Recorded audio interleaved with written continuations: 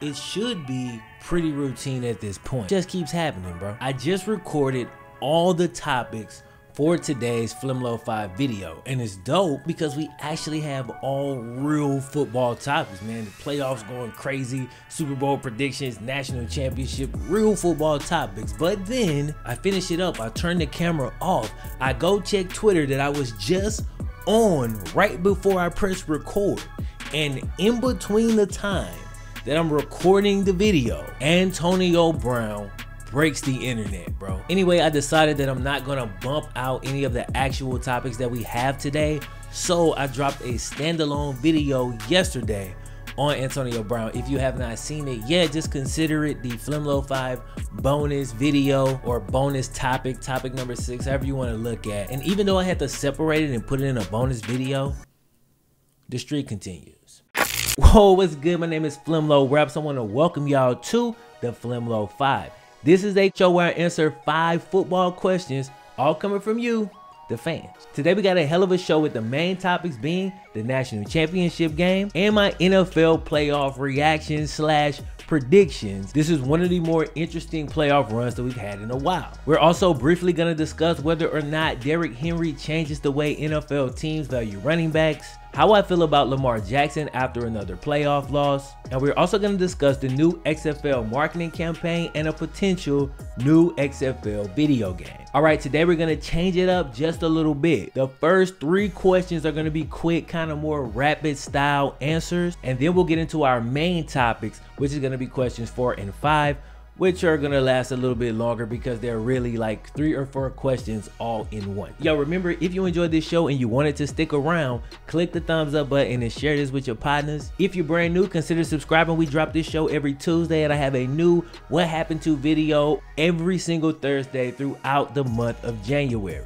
And finally, we address the OG subs notification gang. What's good, fellas?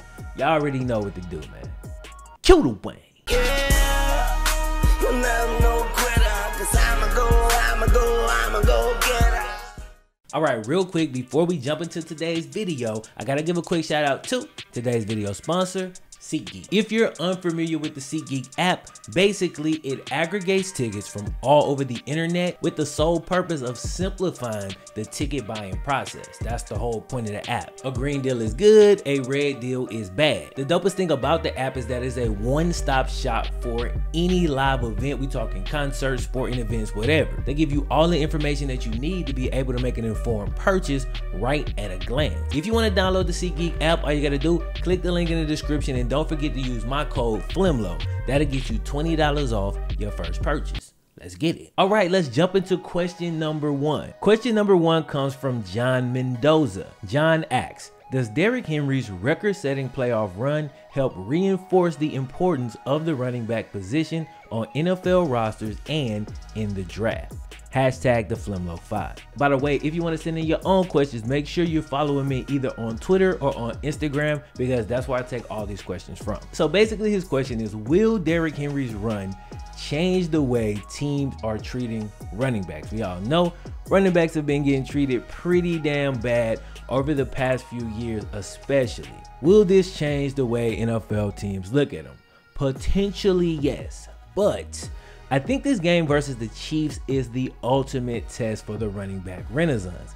It's interesting because we see Derrick Henry dominate in one way, then we see Patrick Mahomes dominate in a completely different way. And Mahomes with the crazy passing attack is actually more of the conventional football, I guess, in 2020 at least. So if the run heavy Titans can actually get past the pass happy Chiefs, that's a huge win for running backs everywhere because it would prove that you can still win without having that star quarterback. Even if it's just close and Henry gets off but still loses, that's still a positive mark for running backs. But if the Titans go out there and get completely outpaced, I don't think it's going to move the needle for running backs. I know Derrick Henry has pretty much gotten off of the whole second half of this season and been balling in the playoffs. But if the Titans don't have a good showing versus the Chiefs, I think a lot of NFL coaches and GMs are going to just default back to the way that they were looking at running backs before Derrick Henry started just beasting out. With that said, I do think he's going to get off, and I do think that's going to raise the priority for running backs once again. And that's good, bro, because them dudes been getting messed over. And quite frankly, I'm kind of sick of it. All right, moving on to question number two. This one come from Instagram NJC24. What's your opinion on Lamar Jackson after another playoff loss? My opinion on Lamar after another playoff loss is simple. He's a second year quarterback, okay? I might actually have a different perspective of this than a lot of people because I'm a Bengals fan, right? As a Bengals fan, I know firsthand Every time I say something bad about Andy Dalton, people jump on me. There's people who still love Andy Dalton who insist that he is a really good quarterback and above average quarterback. And check it out, he's had some really good regular seasons. Well, he's never had an MVP regular season. Lamar Jackson has. Dalton has been to the playoffs four times. He lost every single one of them. And not only did he lose them, he's never had a game as good as Lamar's bad game versus the Titans this past weekend. So if Andy Dalton can get a pass being a 10-year veteran with four playoff losses and people still hold him up as a good quarterback, and don't give me that whole, oh, the Bengals was trash. No, them playoff years, our teams were stacked. And at the very least, we should have got out the first round. So if y'all are gonna give a pass to Andy Dalton, you gotta lighten up on Lamar. Again, second year player making second year player mistakes in that game. Now check it out. He had 500 total yards. I don't care about that at all. He played a bad game as far as I'm concerned. I sit there and watch the whole game. He didn't make the plays he needed to make. He made bad decisions. He started pressing late. Poor ball placement on a lot of those passes. Mark Andrews should have caught that pass, but it could have been easier had Lamar thrown the ball better. So I ain't making excuses. I ain't saying he played well. He did not. He played bad. My point is, let's give him a few more years the same way we do every other quarterback before you just start judging him and saying that he trashed in the playoffs or that, you know, he's already hit his ceiling. He made a huge leap from year one to year two. And I think that over the next few years, he's to take another step. He'll become more experienced, more seasoned. You got to remember, second year player, 23 years old. Give him some time. Question number three, let's get it. All right, question number three comes from the Wrench01 over on Twitter. XFL might be negotiating a video game deal. What would your immediate reaction be if this turned out to be true? And do you think both the game and the league will last long? So the XFL kicked off their national marketing campaign last night and they grabbed up Joel Klatt. That in my opinion, is a great move, man. Joel Klatt, obviously high profile, well respected in the college football ranks, and he's been around for a while now, but still seems fresh and new. So I really love that choice. I think it's great that they was able to land him. The commercial was solid. It was well timed. Joel's pitch for the league was perfect. I thought not begging people or trying to impress them with over the top antics, but just sounding super confident, bro. A nice delivery, making the XFL seem legit, man. I loved it. I'm also expecting something big when the Super Bowl rolls around. They're gonna want to cast that net to try to catch all the stragglers who are gonna be left without football after the Super Bowl ends. As far as the video game goes, um, if you watch Sports Gaming Online's video the other day, I thought they kind of dropped it at a weird time. You know what I'm saying? Like it dropped at the same time that the playoffs was going on. So I'm not sure how many people saw it, but basically they said that there is an XFL game in the works. They didn't say which developer because that hasn't been confirmed, but it's said to be a big developer. Okay, they kind of speculated that it's probably 2K because the NFL is likely not gonna let EA double dip. They got that exclusivity deal over there, so if the NFL got to be exclusive to EA, then EA is probably going to have to be exclusive to the NFL. So if the game is made by 2K, that could be really, really dope. And it could be something, but again, we're talking 2021 or 2022 for a release date with that. Now, they were saying that the video game contract is actually contingent on the XFL making it through one full season and renewing for that second year. They're leery from what happened with the AAF. So the second part of the question is, do I think either one of them will last long? Well, first off, the game is only coming if the XFL can at least make it out of one season. So that's one thing. Do I think the XFL makes it out? Yeah, I do, bro. Everything I'm reading tells me that.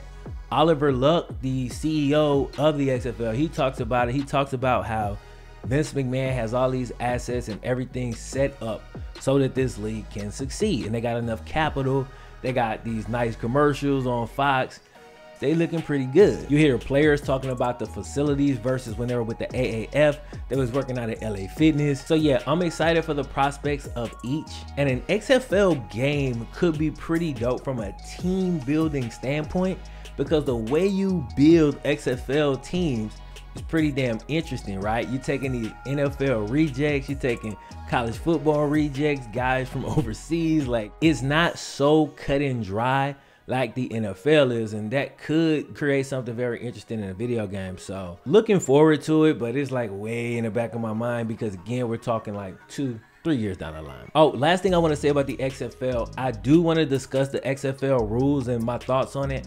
I'm going to have to do a whole video on that after the NFL playoffs are over because it's just a lot and I really can't fit it in this Flemlo 5 videos and I don't want to rush through it. So I do still plan to do that. It'll be after the Super Bowl and before the XFL season kicks off. All right, question number four in our first main topic of the day. Oh, that's Jay from Instagram simply said Super Bowl predictions. Okay, this is kind of where the show actually starts. Let's jump in. So last week I went 2 and 2 with my playoff predictions. I was at 500. I got the 49ers and the Packers picks correct, so I did pretty good in the NFC. My excuse for dropping both of the AFC games who the hell knows what's going to happen in the AFC now that the Patriots have lost? Julian Edelman might even test out his vertical on the hood of your car. And if it wasn't so much actual big time football being played, I would really talk about that Julian Edelman thing, but maybe next week. I'm sure more information will continue to come out. Now, I knew the Texans would be a long shot, but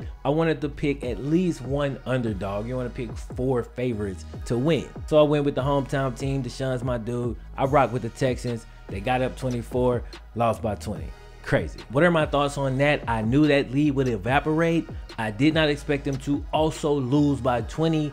Bill O'Brien should be fired. Yes, everybody's talked about it, so I didn't even want to make it a topic because I don't have nothing to add. Just fire Bill O'Brien, that's it. All right, now for my Super Bowl predictions. I told y'all in the last two Flemlo 5s that pass yards are overrated. And if you missed those or forgot, my reasoning is simple. The top five passing yard leader in the NFL, none of them even made the playoffs, okay? Now Ryan Tannehill comes along and further proves my point by throwing for less than 100 yards in each of his first two playoff games and still managing to win. Now, I picked against the Titans last week, and my reason was because I assumed that Baltimore's offense from the regular season would translate to the playoffs. And despite how solid the Titans are, I thought that the Titans would get down a few scores and not be able to keep pace with the Ravens.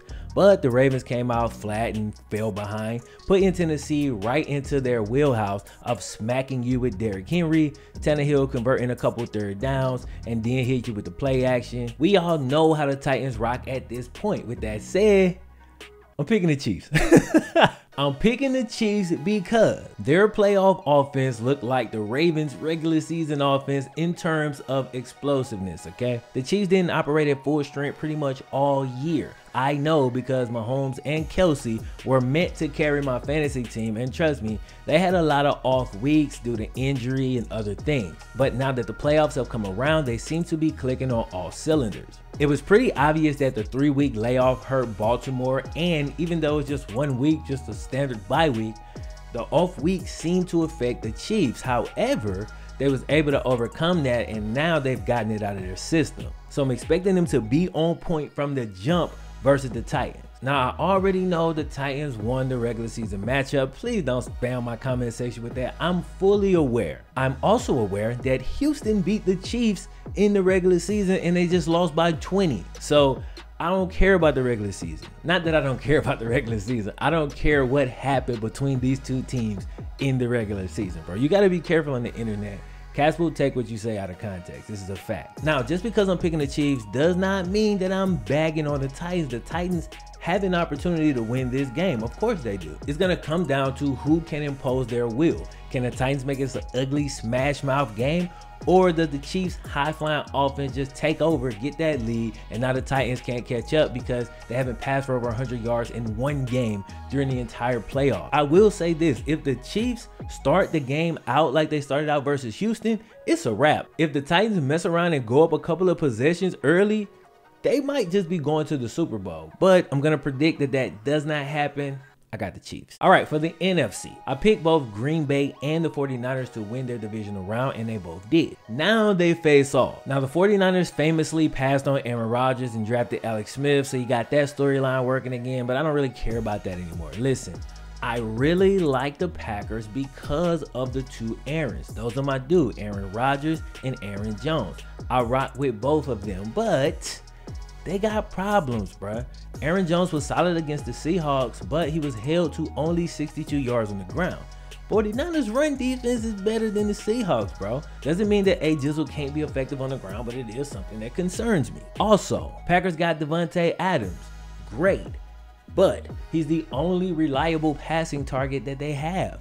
Nobody else on the team outside of Jimmy Graham had more than one catch versus the Seahawks. That's a problem because the 49ers have Richard Sherman, who has been playing at a Pro Bowl level yet again. He's definitely going to offer more resistance than the Seahawks corners did versus Davante Adams. So now, who is the other option that steps up for Aaron Rodgers? Also, the Packers defense was able to keep the Seahawks run game in check. The Seahawks running backs only combined for 46 total yards in that game. You really think the 49ers ain't gonna smack them with that two-headed monster and get a lot more than 46 yards? They will, bro. So what I'm saying is, the only way I see us getting that State Farm Super Bowl is if Green Bay is able to overcome all of that. And there's two things that have to happen in order for Green Bay to overcome all that stuff I just said. The first thing is Aaron Jones and or Jimmy Graham got to really step up in the pass game. I think Aaron Jones might be limited a little bit in the run game, but he could kill him in the pass game like he's done a lot throughout the regular season. And the other thing is Jimmy G is going to have to have a healthy amount of turnovers in the game like he is sometimes known to do. But if those two things don't happen, I don't really see the Packers winning. And to be clear, I'm picking the 49ers. So I got the 49ers versus the Chiefs in the Super Bowl. That's my pick. All right, finally, question number five. Question number five is not even really a question, but Mojo over on Twitter made the video about making the safe play. He said, must recap the natty. I mean, you're gonna do it anyway, but you know. and he's right, but I needed a question to be able to introduce the topic. So shout out to my dog Mojo. Boom, let's get it. National championship. Let's talk about it. So the national championship just ended and I'm pretty damn tired from a long day, going crazy in the party chat and talking crap on Twitter. With that said, I gotta go ahead and apologize to y'all because I'm gonna talk about Joe Burrow for this whole segment, okay? Just be ready for that. But can you honestly blame me, bro? Can you honestly blame me? My team has the worst record in the NFL. We get the first overall pick, and then this man throws for 463 yards, six touchdowns, and no interceptions. Clemson had him on his heels at the beginning of the game with the blitz, and at one point they stopped blitzing, which was I didn't understand at all. But even once they started back, Joe was able to adjust and he proceeded to just put his foot on their necks and never let up. I noticed that too when he dueled against Tua earlier this year. I kept thinking that Tua was going to get back in the game because Tua was trying to press that button and, and turn it on. But Joe Burrow has that quality where he just does not let up. He doesn't tense up like most quarterbacks do when they get a lead. He just keep coming at you, bro, non-stop. The dude is just a dog, bro. There's no other way to put it. The pick is in, bro. It's over. Bengals got our quarterback of the future. 60 touchdowns on the year, raising the football family, Heisman Trophy winner, national championship winner, and he dominated every single step of the way. Trevor Lawrence is going to see better days, but he played poorly in this one. If you're a Clemson fan, you got to be able to admit that. I know y'all going to talk about that one touchdown that got called back. Even with that, Trevor missed a ton of throws. I mean, a ton of throws that if he would have just hit a few of those, it could have been a different game. I especially noticed a really big difference in Burrow and Lawrence on deep passes. Joe was money with just perfect placement on the majority of his deep throws. Trev missed almost all of his. And again, I'm not trying to dog Trev. I'm literally just telling you what happened. I've been watching Trevor Lawrence since Elite 11, man. I'm a fan as well. With that said, he's a lot younger than Joe. He's already got a championship under his belt. He's got more time to develop. So this will be a lesson for him. He'll come back better next year. Now, I thought we put to bed the Andy Dalton stuff, but no. Cats on Twitter are still trying to tell me how great Andy Dalton is, bro. My, I'm like, my guy, Tons of quarterbacks throw for three and 4,000 yards in today's NFL. The way the rules are, it happens, okay? We all know pass yards are hella overrated. Andy Dalton is 0-4 in the playoffs with one touchdown and six interceptions. When he was in college, he played for four years. In four bowl games, he threw for two touchdowns and four interceptions. Through two college football playoff games, Joe Burrow has scored 14 touchdowns with zero interceptions. He's thrown for nearly a thousand yards in two playoff games, bruh. 956 yards. These guys are not the same. People seem to think that if we don't win the Super Bowl next year, we shouldn't draft a quarterback. It's utterly ridiculous. We have a really good receiving corps. Our offensive line was much, much improved late in the season.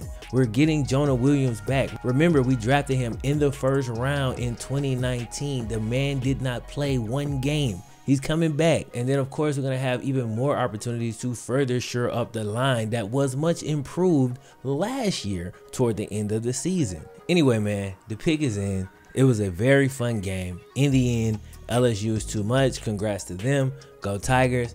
Now, I just need Zac Taylor to do the right thing. And I'm going to bed. All right, man, that's the video. Thank y'all once again for tuning in. Once again, subscribe if you're brand new. Like the video if you like it. Brand new What Happened to video this Thursday. Make sure you got your notifications enabled so you don't miss it. My name is Flemlo Raps. I'm out of y'all next time, fellas. One. Yeah,